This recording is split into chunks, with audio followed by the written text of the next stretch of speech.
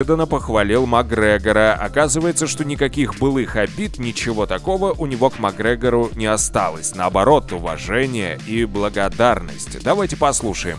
Он много сделал для спорта и много чего выиграл. Если бы я подрался за 80 миллионов долларов с Флойдом Мейвезером в UFC, меня уже не видели бы. У Конора была блестящая карьера. Макгрегор — отличный боец. Если он действительно ушел, тогда я благодарен за все, что он сделал для спорта, заявил Жозе Альда.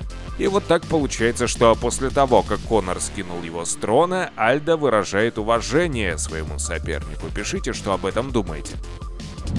Хабиб Нурмагомедов принял участие в рекламном ролике, пока он отбывает дисквалификацию и у него есть свободное время. Ролик Хабиба посвящен одной из марок автомобиля, и он в свободном доступе, так что можно его легко найти в интернете и посмотреть. Уже известно, что Хабиб вернется в сентябре, а его соперником, скорее всего, станет Тони Фергюсон. Во всяком случае, мне бы хотелось видеть именно этого соперника. Но может случиться так, что Хабиб встретится с победителем пары Холлоуэй-Парье. В общем, два варианта, какой из них выберет UFC, мы с вами совсем скоро узнаем. Кстати, Хабиб назвал Конора бойцом в Твиттере. Наш спортсмен ответил на недавний пост Конора, в котором тот плохо высказался о нем, и вот что ответил Хабиб. Деньги приходят и уходят, но в тот вечер ты потерял честь навсегда. Живи с этим. Завершив карьеру в ММА, ты начал карьеру в Твиттере, написал Нурмагомедов.